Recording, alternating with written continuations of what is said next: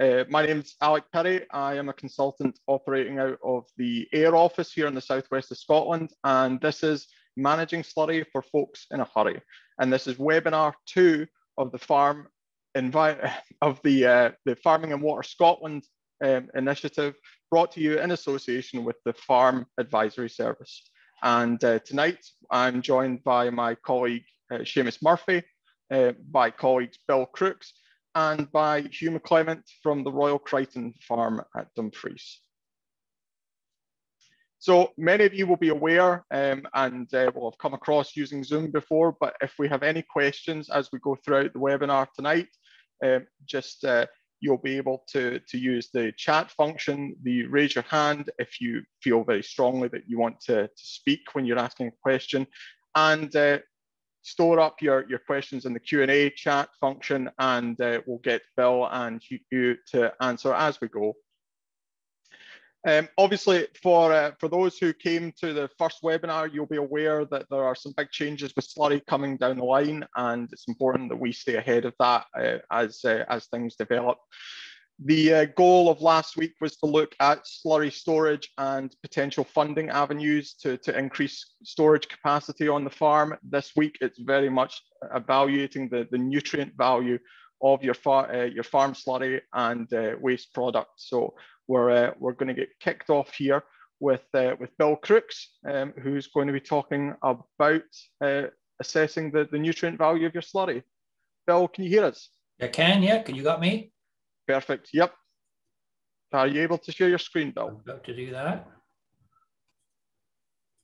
Right. So yes. So I've been asked to talk about slurry and management usage. Okay. So the central driver behind this talk uh, for me uh, and is occupying me quite a bit is this change, the proposed changes to the legislation governing um, slurry management. And as Alex said, anyone who's managing slurry really needs to pay attention to that. I believe the consultation is open for another month or so, um, and it's going to have some some very direct impacts on um, on, on, farming across Scotland. Okay, uh, mainly a bit of catch up for those people outside NVZs who who will need to who, um, to come into compliance in terms of storage capacity, etc.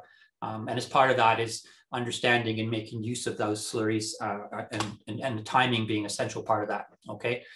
Um, so the move towards the legislation is trying to increase or to avoid the requirement to spread through the winter. Okay. Um, that's been a message. I don't think that'll be any surprise to anyone. It's been a message that's been focused on for quite a number of years now. Uh, but we now see the legislation coming up to sort of back that up. Okay, so it's a it's about when you spread, um, not about how much you spread or what or the location of spreading. It's well partly about that, but it's it's mainly about timing. Okay, um, and and part of that to be more technical about it is spreading when you have a, a target key growth stages in the front end. Okay, and over the growing season.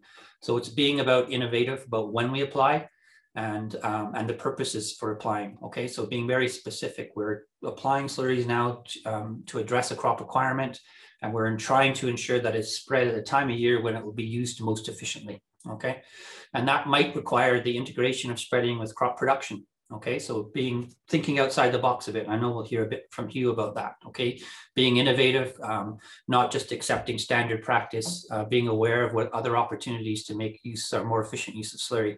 Uh, the biggest driver is the, the, reduction of impact on soil health and water quality. Okay, there's uh, those are the two big things that are, are underpinning um, increased focus on on efficient slurry management.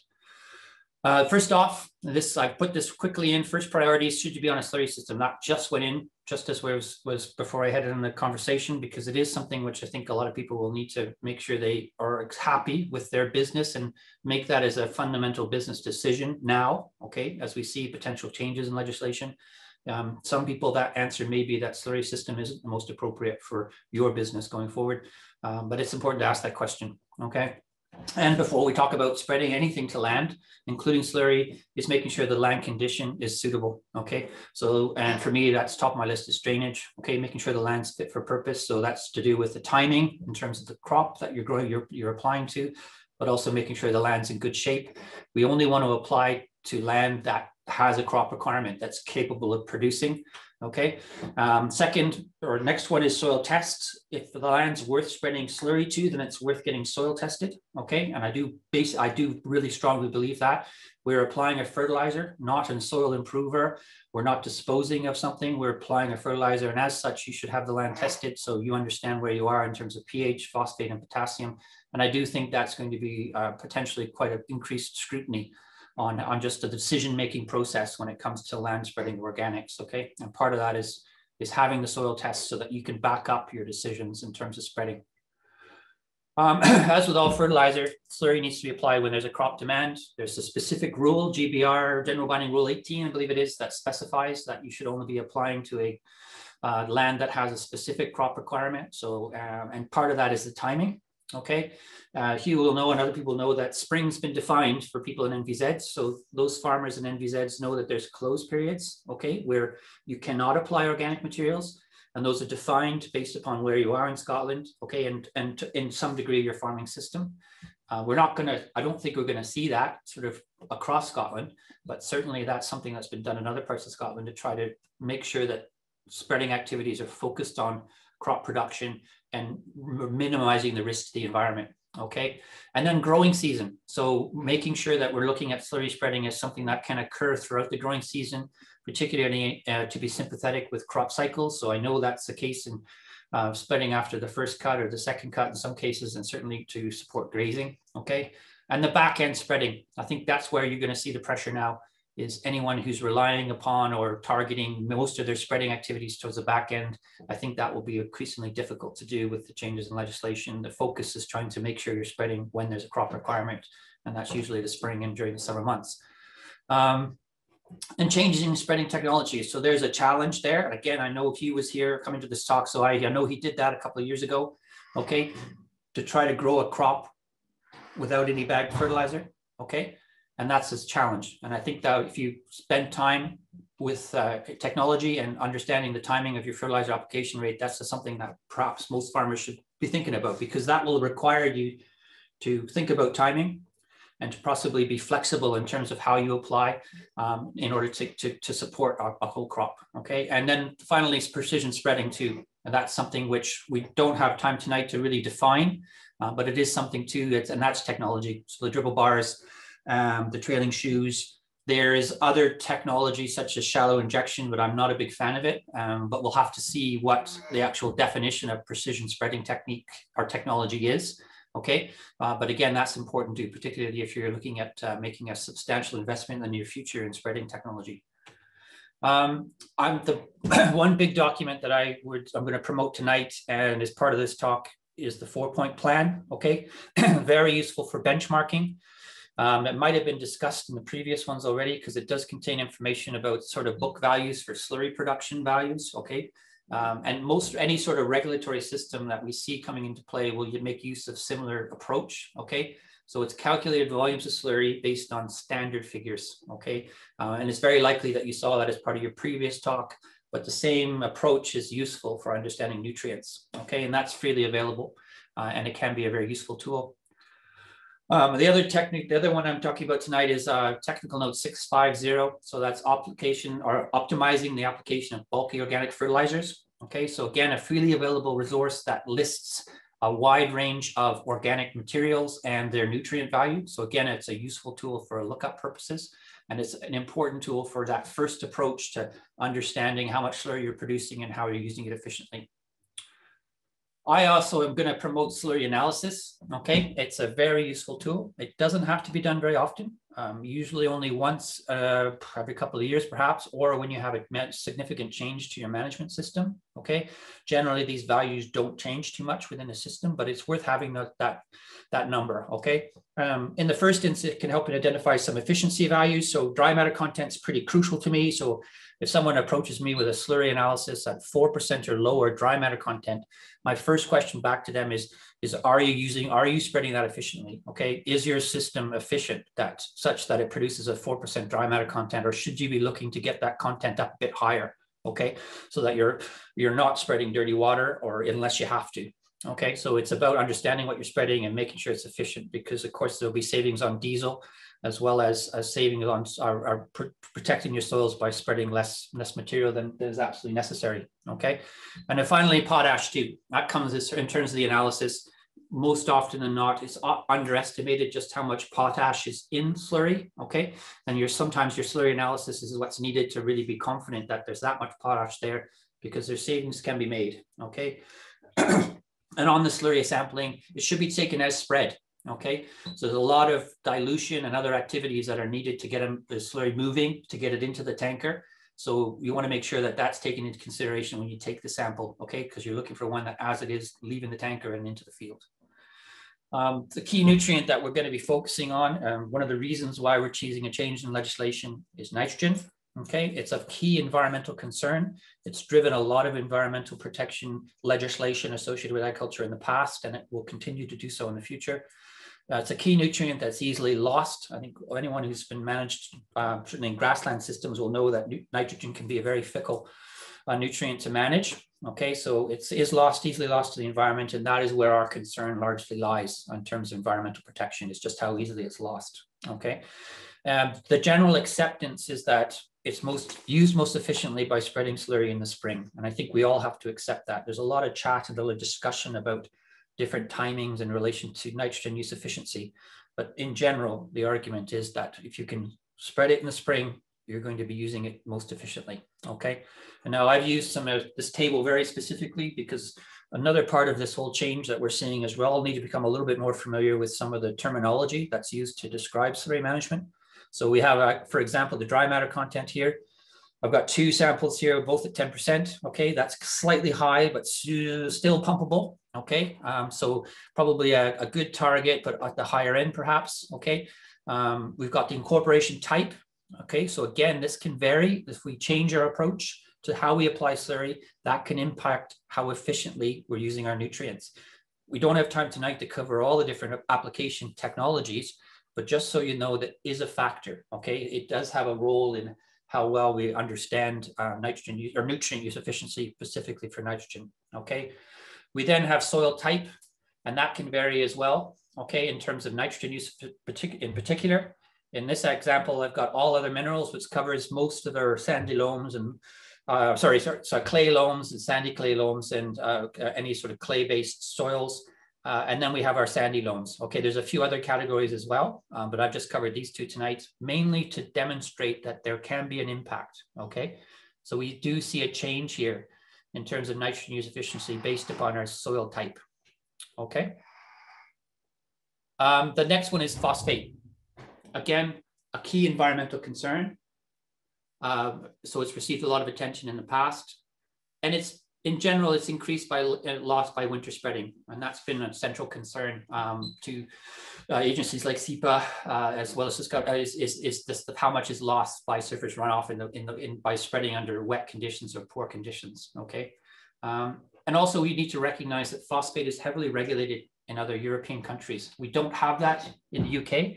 There's a few mentions of phosphate in the various legislation uh, implements that are out there that govern agriculture, but in general, it's not been focused on. Um, but we need to be aware that in other European countries, it is, it is heavily regulated, and many farming activities are um, controlled or restricted based upon the, the, phosphate content of organic fertilizers. Um, and it, I think for us in Scotland, the, the key part is to test your soils, okay, to make sure that you're staying at or below target for phosphorus.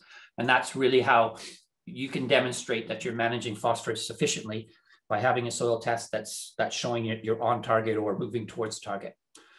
Um, and you can expect about a 50% efficiency. So when you're using phosphate, when you're, when you're looking, you're doing your sums for phosphate application from slurry, it's about a 50% efficiency that we're looking for. That's the benefit to the crop in the year of application. Finally, in terms of the key nutrients involved, potash, okay, we don't typically consider it as an environmental concern, and I don't think that's going to change, okay?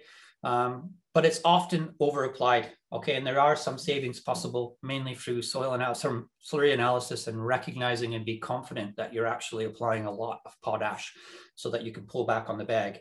And we are looking at a fairly high efficiency ratio for for applied uh, uh, potash from slurries as well. Okay, so that's about 90% efficiency. So that is a pretty closed system. So provided you're aware of and managing your your your, your potash with some knowledge you can uh, have some savings by pulling back on the on bagged fertilizer. Okay.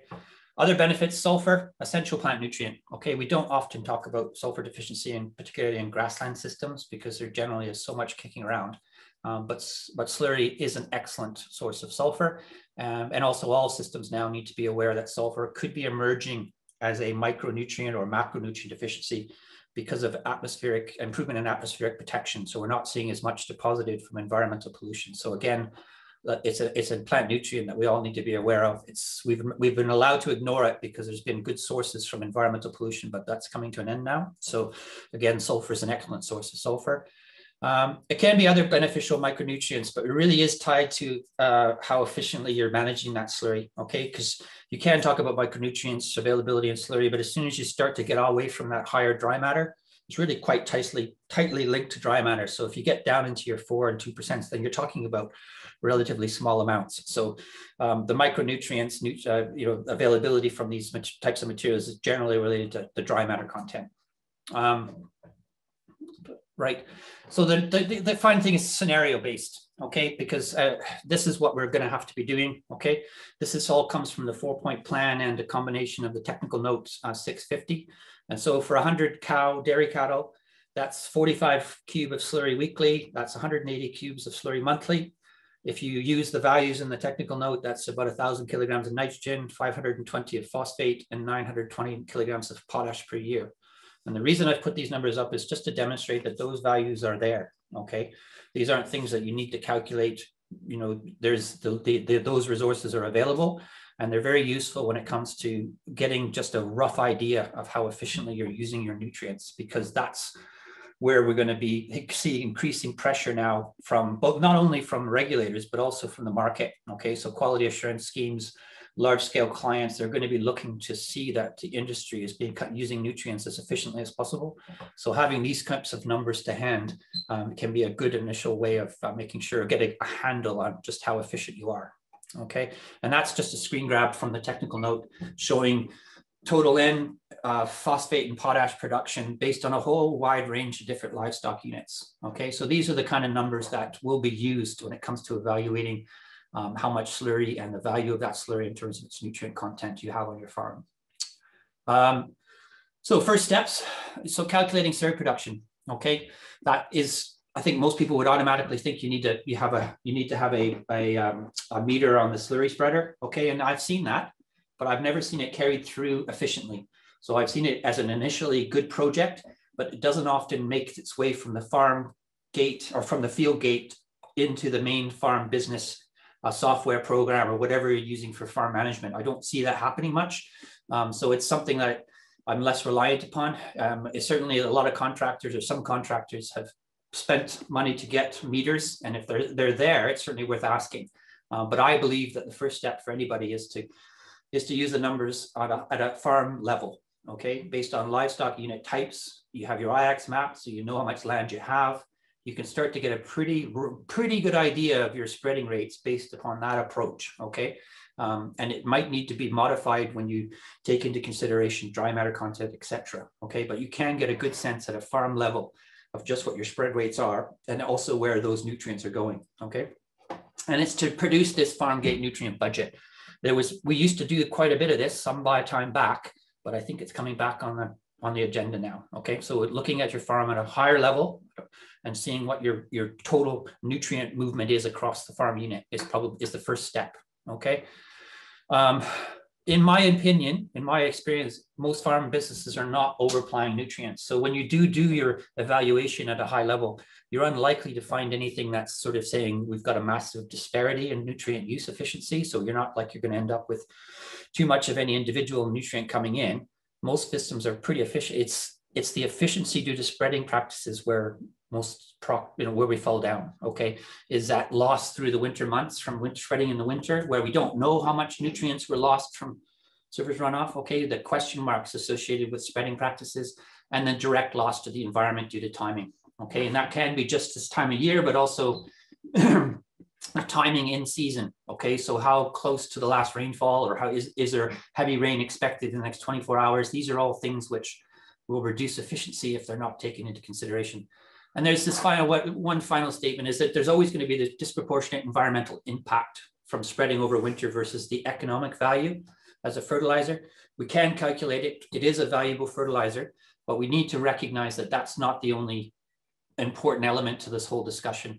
It slurry, when it gets into the environment, has a can have a devastating impact on the environment, which is why there is so much interest in, and and um, scrutiny on what how we're managing slurries. Okay, so there'll always be this um, this this uh, disproportionate uh, value versus the economic or the, the environmental impact. And we need to remember that, okay, uh, when it comes to managing our slurries and, and what, particularly when it comes to investing in, in, in effect, efficient uh, fertilizer management. Uh, key next steps. I, I said before, I think N use efficiency is going to be the next target. Okay, it'll be from the regulators as well as from as industry. I think there's the tools are out there for them to start putting in goals that you can or in, us as an industry might be needed or might be required to meet. Okay, so based upon some of the values that we have at our hands or our fingertips, they can start to ask questions about how efficiently you're using nutrients, and we need to be prepared to do that. We need to be able to have it on paper to sort of answer those questions. Okay, increased scrutiny on the type and timing of nitrogen fertilizer usage, and that's just slurry is obviously one of them, but I, again, we've seen some talk about urea, for example, okay? And I think we might see increasing uh, uh, scrutiny on its uses, and part of that will be on, on slurries as well, okay? Phosphate will continue to emerge as an issue in relation to efficient slurry management. It's always going to be there, just below the surface, and we need to be on target, and particularly in relation to soil testing of your land to make sure that phosphorus is not an issue in terms of high levels in the soil itself. And then finally, precision spreading. Okay, that's going to be the next part of it. Um, it could be, I'm not sure what's happening now with, uh, there was some talk about maybe having some flexibility regarding buffer strip. If you use precision technology, I'm not sure how much of that will be carried through in the legislation, but there's certainly been a lot of talk about the fact that if we're using precision techniques, so that's dribble bars and trailing shoes, where we can control the actual spread pattern, then we may have some flexibility in terms of regulatory controls, but buffer strips, etc. Okay, oops. Um, and I think the main message for here is that if you want to save money, um, you have to pull back on the bag. Okay, you're not going to make any money uh, or save from the efficient use of slurries and financially unless the only way to save that is by not applying bagged fertilizer. Okay, and that will always be the first and foremost in terms of trying to use it efficiently is making sure that as little as possible is coming out of the bag and the most as possible is coming from your, your slurries. Okay, I'll leave it at that. Brilliant. okay? Thanks very much, Bill. That, that was really good. Um, can uh, can I just ask, uh, maybe be interesting to, to see how many of the, the audience are actively uh, testing for their, their, their slurry. Um, I wonder whether you could uh, maybe uh, raise your hand uh, or, uh, or put in the chats just to give us an indication of uh, how many of you are actively uh, managing slurry.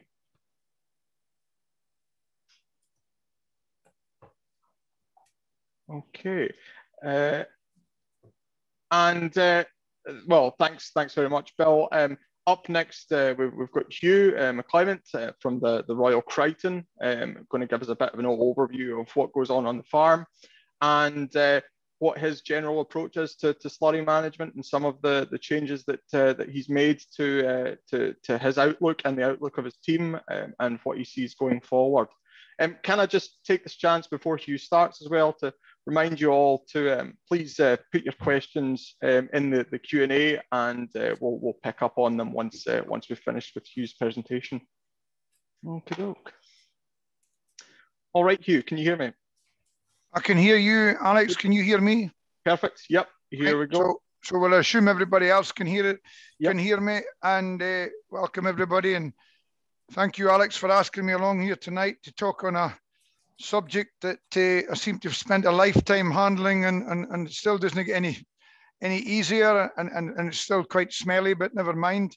Interesting there, Bill. I've learned just quite a bit just in, in, in your talk. So that was useful for me. I did some calcs on the figures there and it's scary the amount of slurry. But uh, next slide, Alex, and I'll give a wee bit of background to me and what I do. So I manage the SRUC South and West dairy farms. So that consists of the Barony farm uh, now. I've been running, uh, handled the charge of managing that farm for the last two years now. Presently milking 200 cows through a parlour. There used to be a robot, but I uh, disposed of it last year. So all cows are milked through the parlour. There's approximately, as we speak at the moment, and this was counted last week at the end of the financial year, the number of cows, so 30 dry cows and heifers. And Crichton Royal, where I've been for too many years now, it's approaching 42 years I've been at Crichton, so aye, uh, a bit of experience there. Milking 195 through the parlour there, uh, and at Acrehead, there's 130 going through the parlour and, and 50 going through a robot milker there. And carrying, as it says there, approximately 75 dry cows and heifers. And uh, something that's quite uh, important here, we have three separate milk accounts. With Arla, I'm very fortunate, we have an Arla contract for all three farms. Crichton and Acrehead, as it says, are on a Morrison's contract, which is also part of an Arla 360 contract. And those of you that maybe are in the, in the audience that know anything about Arla 360 and the Arla uh, model, they are very focused on climate now and climate check and doing carbon footprint and, and very much the subject matter tonight fits into all of that. And uh, more important, well, at, at, at Barony, it's very much a standardized uh, uh, constituent contract we're on there, so it doesn't get the enhanced payment for being on a, a, a 360. But just to let you know, the average milk sales per cow over the three herds is about 10,500 kilograms of cow. So fairly intensive input output system. Next slide, please, Alex. So yes, last week, uh, this is genuine figures, folks. Across the three farms, 680 adult cows, and then the replacements coming on, 210 dairy heifers, 213 uh, up between 13 and 24 months, just coming up to calving, and 213 under 12 months. I forgot to, uh, and I omitted uh, uh, to put in there bull calves and beef calves, and there's probably about 70 uh, beef calves we have now, and only two male black and white calves. And what a change that's been just again about uh, managing uh, every calf as a value is a, is a theme that Arla have, but uh, reducing male black and white calves on the farm and higher value to go in into the into the beef chain. Also some sheep, 480 Scotch Mule ewes. They're nearly all finished lambing now. There's only a handful left and we have 78 Barony Red Deer hinds, and that's in a joint venture with a third party. The land mass that I'm under management at the moment is 300 hectare.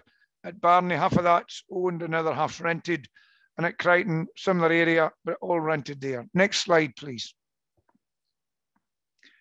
So the crops grown on the Southwest farms, and this is Barony, folks, just to kind of give you a feel, I'm, I'm trying to give you a broad brush what, uh, uh, what what's all grown on the farm and how we utilise slurry.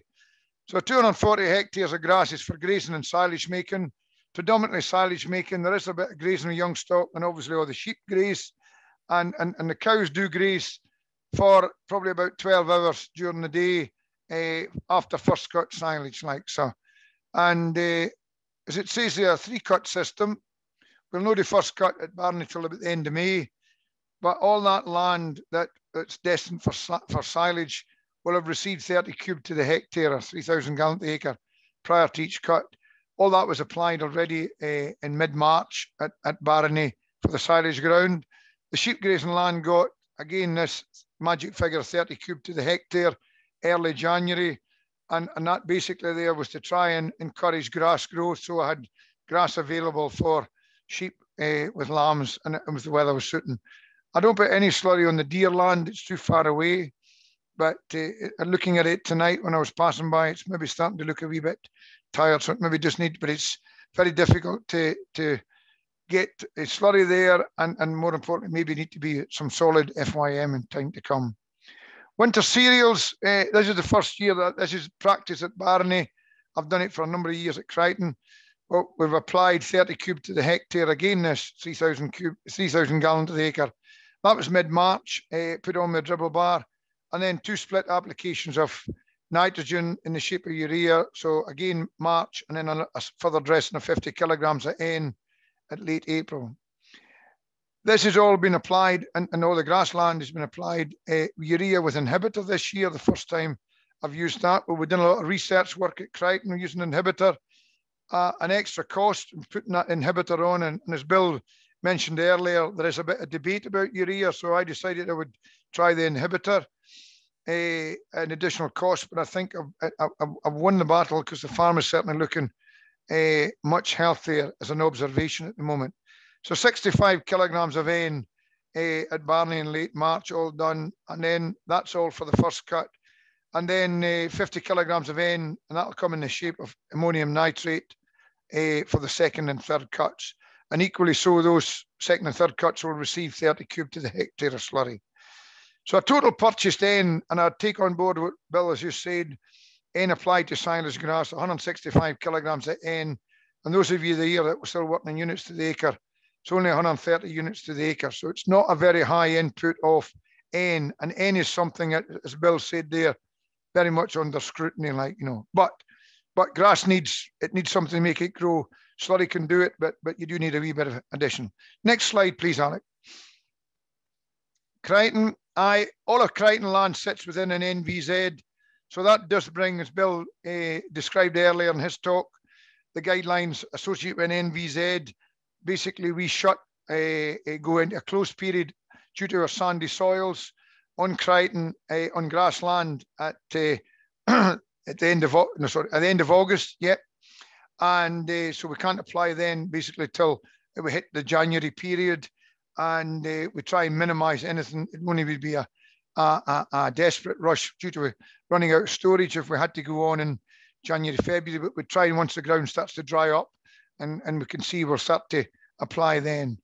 So a five cut system uh, of, of silage making at, at Crichton, all receiving this, again, this magic figure of 30 cube to the hectare, 3,000 gallon acre prior to each cut. Winter cereals, I have been doing that for a number of years now. Messy job. I even had uh, somebody here filming that for a farm advisory service on, on Friday when we were still applying it. That was the last of the application going on to winter wheats. And uh, yes, it, it's uh, it can be a wee bit messy, but how you see a response from that growing crop, again, of putting on this nutrient base of, of slurry.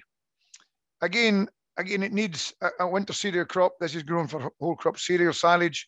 Does need N uh, out of the bag. So I've targeted this 50 kilograms of N early March, and then there's another dressing to get late April. And that'll go on in the shape of ammonium nitrate. I haven't bought it yet, Mike, but I'll have to get that organized. Maize, I've no maize in the ground, and, and good old Facebook reminded me yesterday I, I was planting maize a year ago yesterday.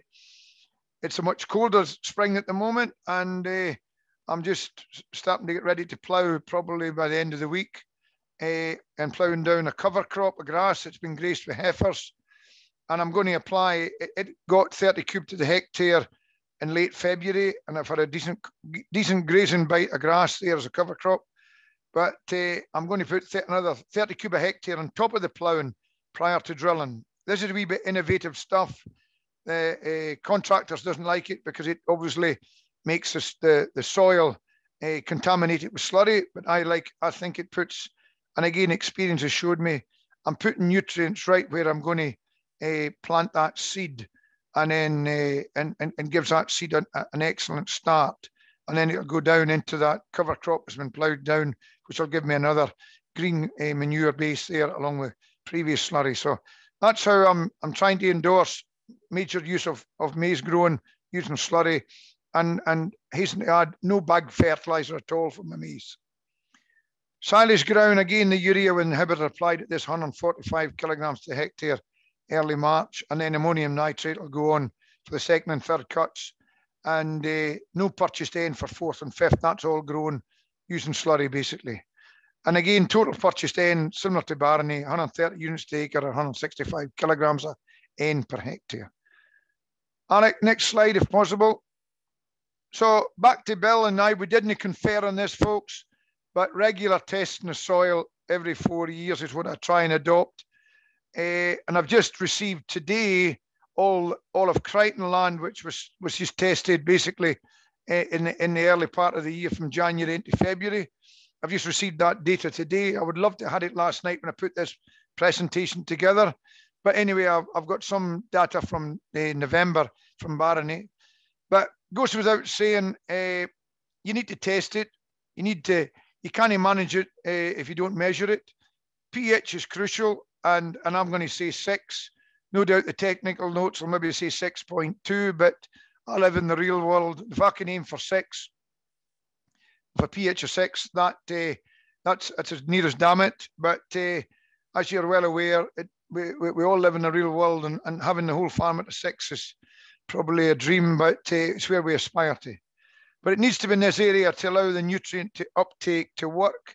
And nutrients in the shape of what you're putting on, basically your slurries, they don't work really well unless you've got your pH right. And uh, that's well documented for everybody. Like I test for P and K, so I don't know where I'm going with this because I've not purchased any P and K at Crichton for the last 20 years. It's either been nutrients from slurry and basically straight N coming in the shape of urea to start with and then going on to straight N there. And I'm starting to practice that at Barony too. It has worked for me at Crichton, so it should work out at, at, at Barony site too. Next, next slide, please, Alex. So this is a, a field at Barony, folks. I didn't show you the maps, but you can see there, uh, basically, uh, if you look at the, the pH, which is the, the third column in for the left, and uh, I didn't make these up. This was soil sampling that was done by a partner organization that SAC Consultant work with called Soil Essentials. And as you can see there, aye, I would think I'm, I'm meeting the average, certainly the battery one field S13, but the rest are all sitting 6.2. But more importantly, you can see the phosphate and potash. And I can only say I'm going to improve in that there, but the potash ones, I'm going to have to look at maybe uh, at some point, maybe uh, targeting them for a cut for an, an off take. But I can certainly address that, and I'll come to that more in, in, in, a, in a minute or two when I get further through. But this particular part of, of Barony Farm is rented, but last summer I uh, installed two roadside or sorry under under road crossings to allow me to get umbilical use onto this land, which I'd never seen umbilical before. So now I'm starting to spread evenly across all the farm and a bit more uh, strategic management of slurry.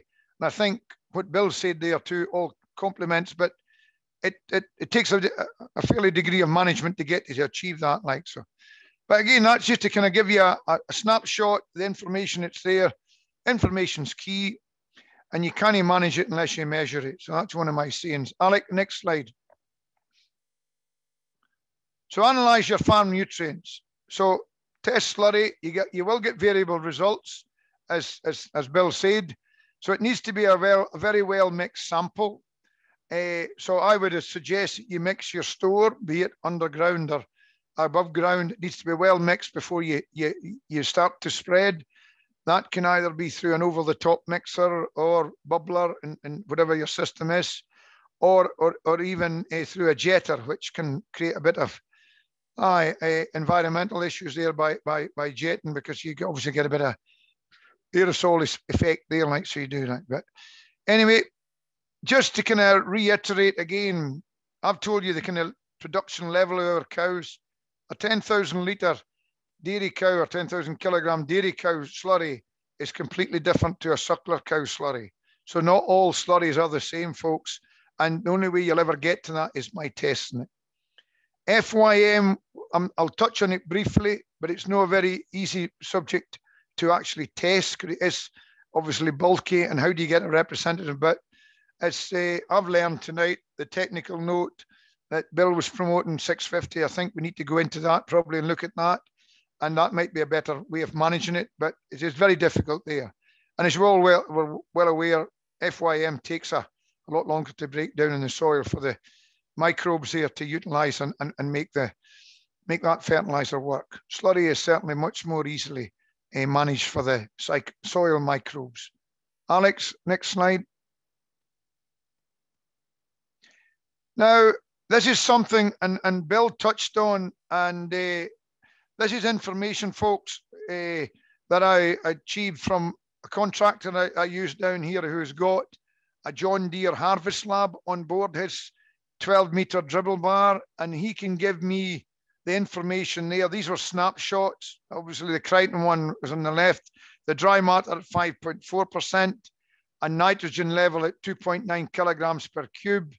And as you can see, obviously phosphate levels and potash levels. And the ammonium nitrogen there. Again, this is done by an NIR a, a sensor on the actual a slurry a band spread, the, the dribble bar as such. So it's analyzing that and continuously giving that information to the operator who can store it and I can get the information back from him on that one there. And the reason I put the Barony up against the Crichton, Barony ships a lot of water. Uh, all the dirty water goes into slurry, whereas at Crichton, I, I tend to uh, manage dirty water separately. So the dry matter, as you can see, is, is, is slightly different. It's a bit wetter, obviously, at Barony. And you can see the slightly different analysis there, and that's due, due to the dilution effect.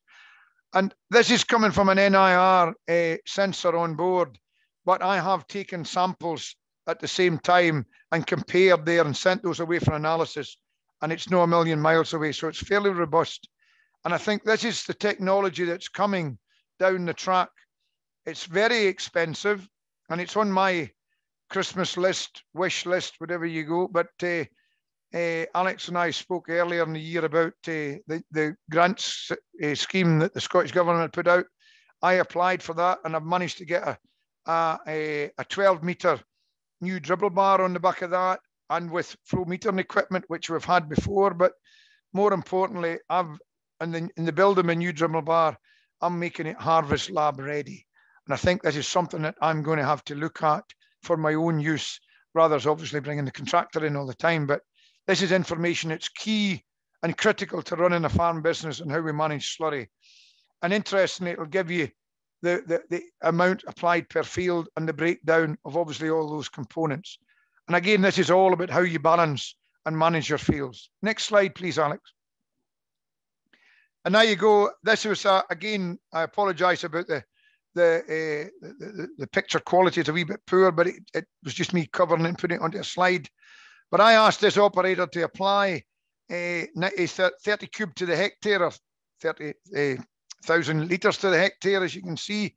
He averaged 29.79. So I think I can't chase him for that. He achieved the goal, you know what I'm saying. So that's volume. Actually, if I had more time than I, I could have showed you, I could have broke that down to N and, and P and K applied like. And that's the field, those of you that ever been to Scotgrass, it's in the front of from Acrehead Dairy Unit, which is to the uh, the, the left-hand side uh, there and, and to the right-hand side, there's a, you can just see another building. That's where I live. So uh, it's where I look out on that field there. But uh, it just shows you how accurate the applications are being monitored. And this is information that's key that you can feed back to your, your business management of how you handle slurry. But it's only, my understanding, it's only available through John Deere at the moment. They are streets ahead of any other body on manure and on, on board manure analysis like so. Anyway, next slide, Alex. So yes, applications, splash plate, we've touched on that. It's soon to be banned. How are we going to cope? Well, I've got ideas, but uh, I didn't write the rules here and I'm just going to have to farm with the rules like everybody else. The dribble bar, that's our system. And I'm now, as I said earlier, I've ordered a 12 meter bar. We have an old nine meter, which is going to go to one of the other farms. Trailing shoe I've tried. Uh, I think the dribble bar is probably the best, the optimum at the moment. Uh, trailing shoe does work. I'm not, I'm not, I'm, I'm not against it, but uh, there's more wearing parts there. And, and, again, I think the dribble bar just it achieves the similar aims and, and, and goals. Shallow injection. I have a shallow injector which I haven't disposed of yet. I think there's going to be a, a route for it, but it was always a very slow output. It was only three meters wide.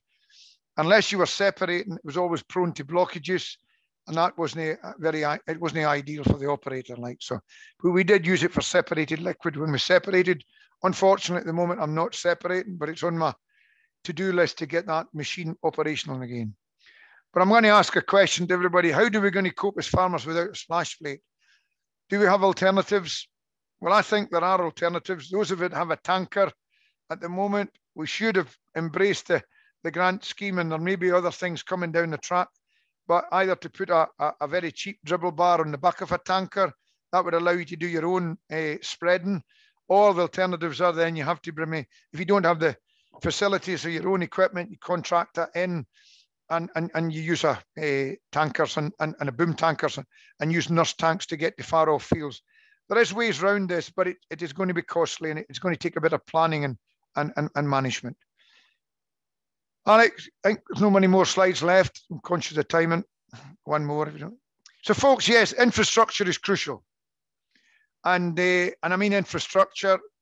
I believe you were listening to Adrian Jones last week. Uh, Adrian was involved with me putting in an underground main at Crichton. I, way back in 1993, 94, that's how far back we go of, of managing slurry, but that was putting in a, an underground main which allowed us to get to fields easier rather than laying out a, a flexible hose. We still use that today. And then since that, I've embraced more road crossings at Crichton. So across every road and an underground, and, and basically that's putting a large duct in there. We can pull, there's actually a fixed pipe underneath there now, but allows you to cross roads safely. And you don't work with ramps and stuff like that. And as I mentioned earlier, I've done Barony, and what a difference that has allowed me now to, to spread uh, the, the area land out there that traditionally was done very, very inefficiently with tankers and, and certainly umbilicals got to be the way forward like. So 90% of the Crichton farm is reachable or obtainable uh, with umbilical. The areas that we can't, then obviously we still have to look at uh, other means and that will be tanker. And if that's either a tanker with a, a, a, a band spreader in the back, be it a dribble bar or whatever, or it's going to a nurse tank and then using the umbilical in the field. But there is ways and means, but yes, it, it comes at cost. And again, this is huge benefit just in the last 12 months at Barony. 75% of the Barony is now achievable with umbilical. And the far off land at uh, Barony across the river, because I'm, I'm certainly, I'm conscious maybe SEPA listening, so I'm not even going to em embark on this one. I'm not going to lay a pipe across the River Ayr. So I take my solid manure to cereal ground and then try and, and, and fertilize that with the solid factor there. And it, it's a much safer route like so. But again, it's making best use of the nutrients on the farm. Next slide, Alex. This is the last one I hasten to add, folks. So what all is this has achieved for me as a farm manager is that I have an even application of the nutrients produced in the farm across all the farm. It's not to the fields. And I remember as a boy, and I'm, I, that's a long time ago, I hasten to add, we used to only go to the dry fields that got slurry. Now every field gets slurry or, or FYM, but predominantly slurry. And that is, as Bill said, is making best use of the nutrients. It's a fertilizer and what that does for your farm. And you as a farmer benefit from that. But more important, your biggest asset in your farm is soil. It benefits from the nutrients that's in that. And if you test that slurry, then you know what you're, you, you, you, well, you can measure it, you can manage it. So yes, I've kind of given you, I wish I'd showed you some photographs, but unfortunately they weren't just very eh, good when they wouldn't have been very clear on this tonight, but all crops benefit from this attitude. It's not just grass, it is growing cereals. Spring crops can also benefit from it. And uh, we'll see what I, uh, my maize will get it prior to planting. I can't go down maize crops again with an umbilical system then. But finally, I'm going to use the word carbon. It's the big buzzword everywhere these days, and farming is no different. And that's the one we're all going to have to embrace. Uh, whether that be through our own farming systems and whether that be through uh, the government-led initiatives. But I can tell you, my milk buyer is, is certainly doing carbon footprinting, and uh, we just conducted the first reference year last for, for last year. I'm about to fill in another climate check for the year that's just finished, and I would like to think hopefully we come out very credible in the first attempt. So hopefully now going forward, uh, there'll be it will bigger improvements. But this is the way we're going to have to manage, whether we like it or no. But this is going to be the way we're going to have to use our farms, and our farms are going to be benchmarked. It's, it's carbon management if that's the case. I think as farmers, whether we like it or not, and I hate to keep emphasizing that, we've got to embrace the environmental challenge.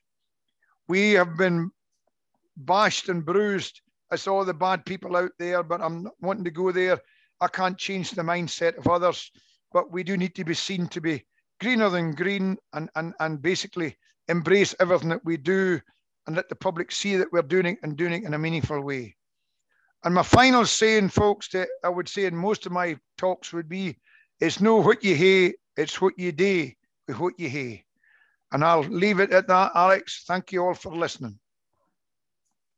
That's great. Um, thanks very much, Hugh. Um, I think uh, we'll, with uh, with that done there, we will just head straight into the to the open Q and A session.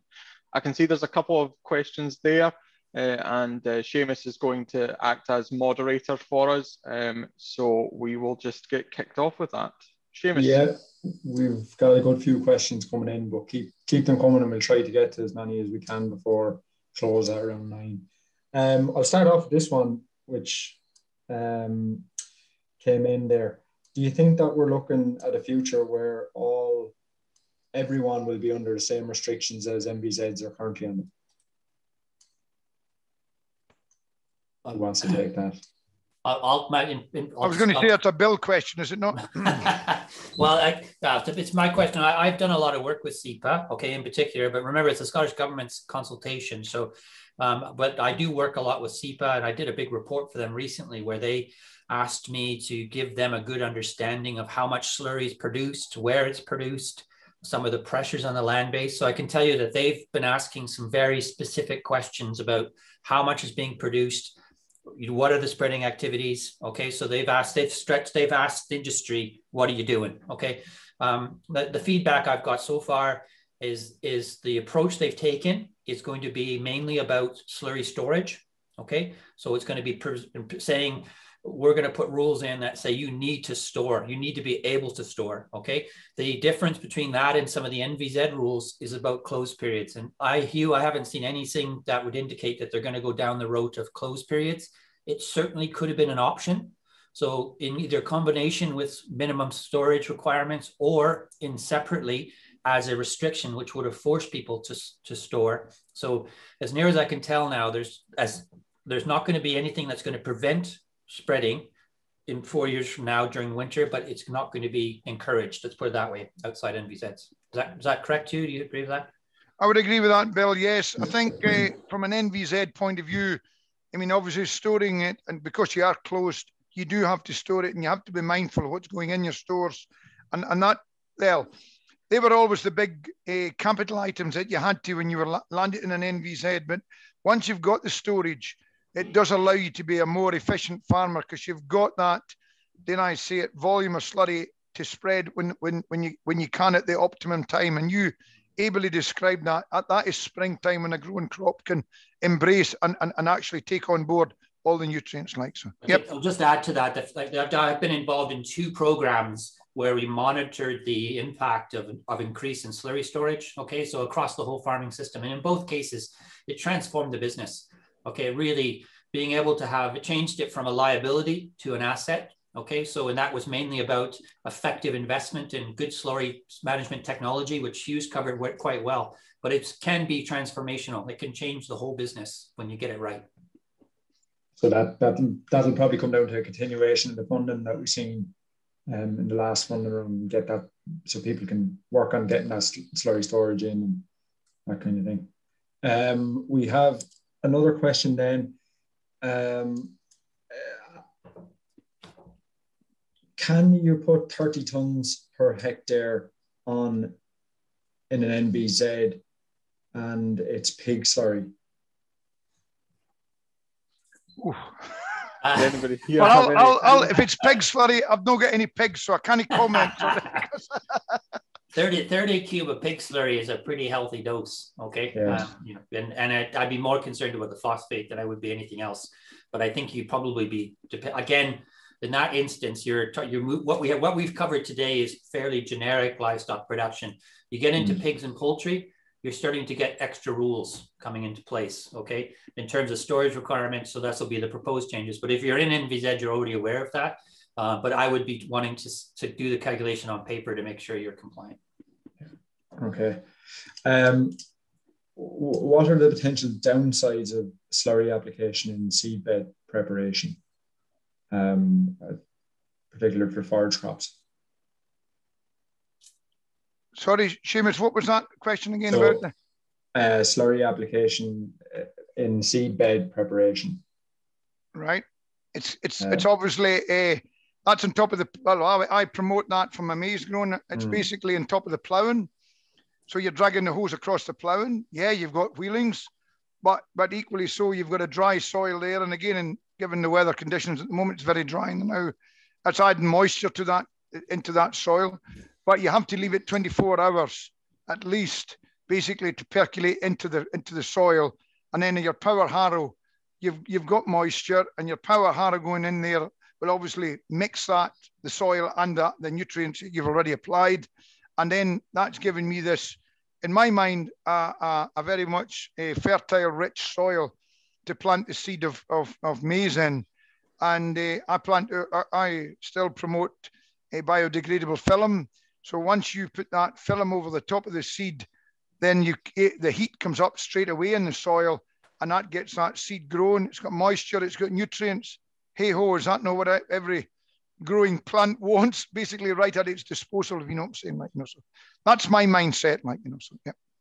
So there's not that there's not too many downsides to it anyway. Um, I don't think so, but but but the guys obviously don't like it. The contractor guys don't like it because they're actually they're having to work on a, on a, on a seed bed that's had nutrients or in the shape of slurry applied the day before.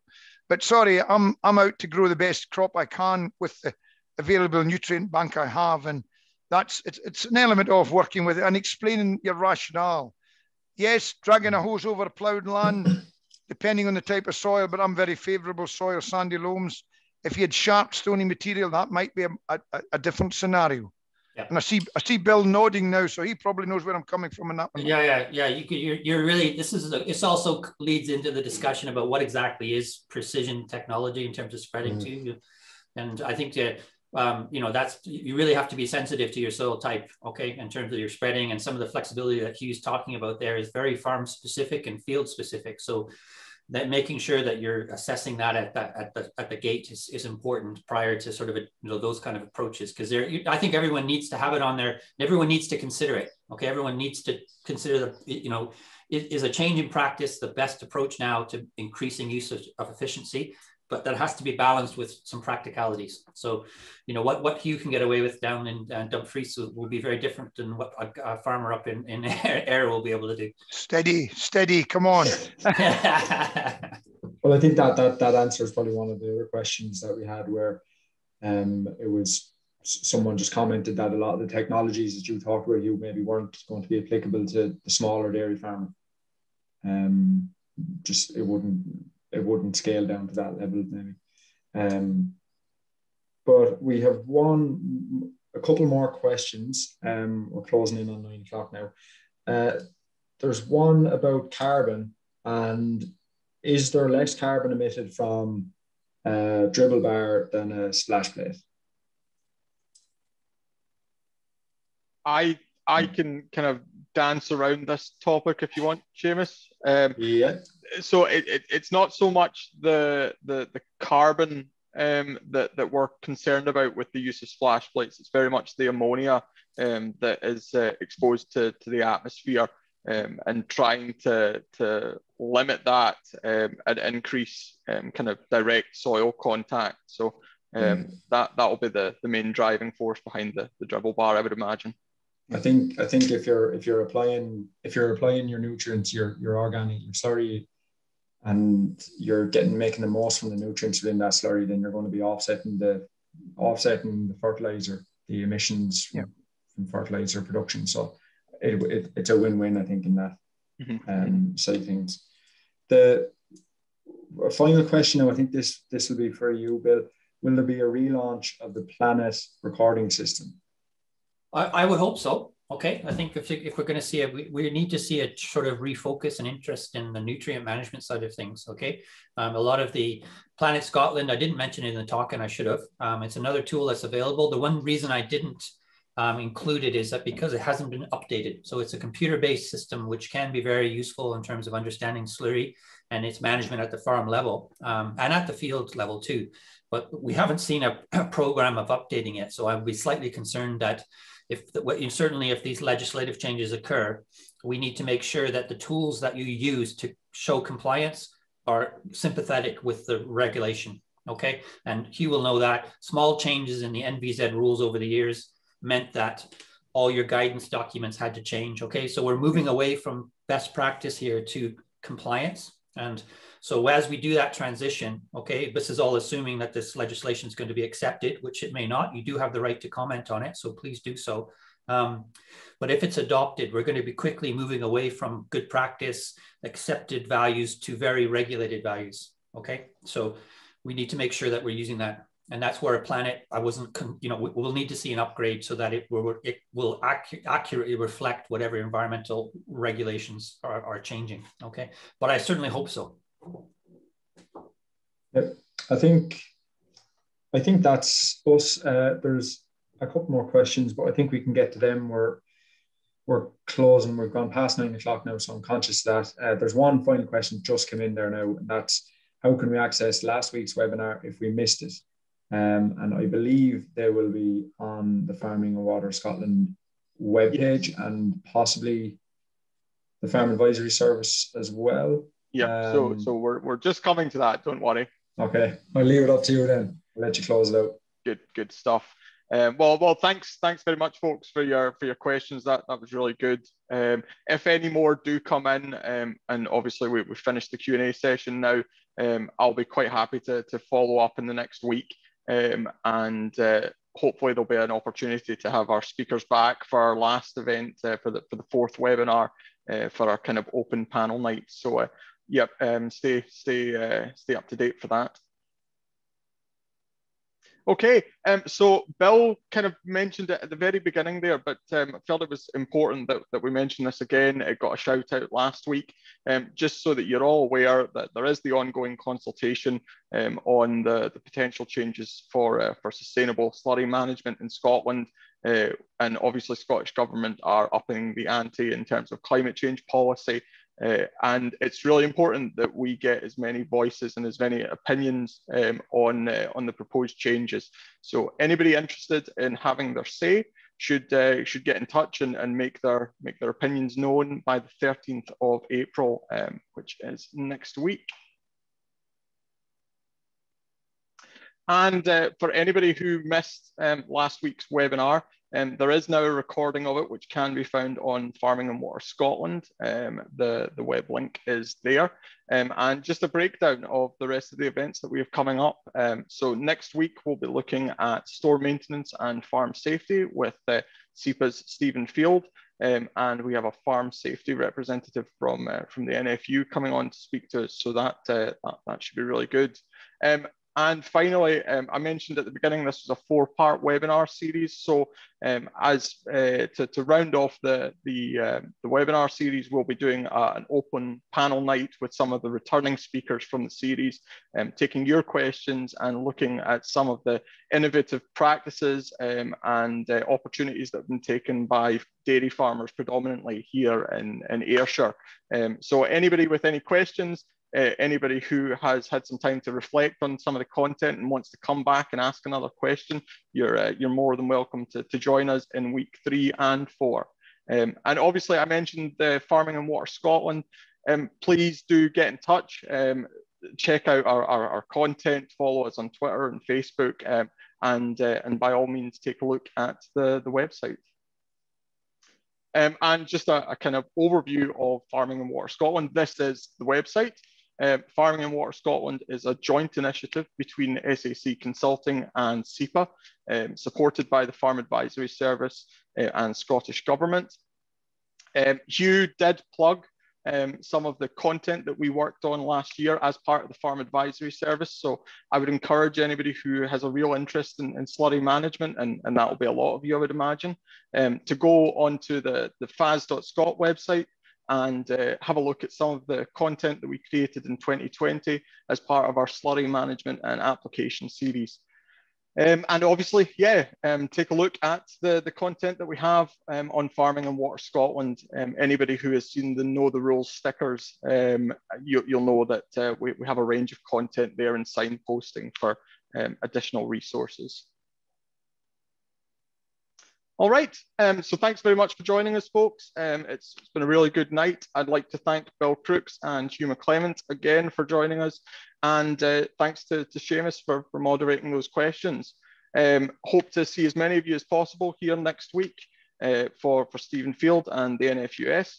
Um, but uh, until then, have a good night and I wish you well.